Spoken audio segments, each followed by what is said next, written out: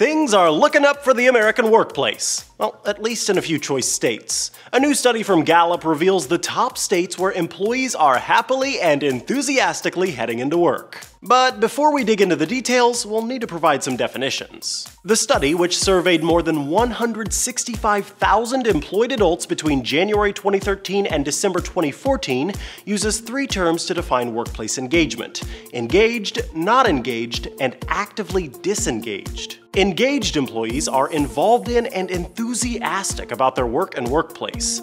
Not engaged employees are essentially checked out. Actively disengaged employees are not just unhappy at work, these employees undermine the accomplishments of their engaged coworkers. The study's results are broken down state by state. Montana, Mississippi, and Louisiana have the highest percentage of engaged employees, the ones who are excited to go to work in the morning. On the other end of the spectrum, Connecticut, New York, and Michigan have the highest percentage of actively disengaged employees, the ones who undermine their coworkers. As you might expect, these numbers have considerable implications for employers.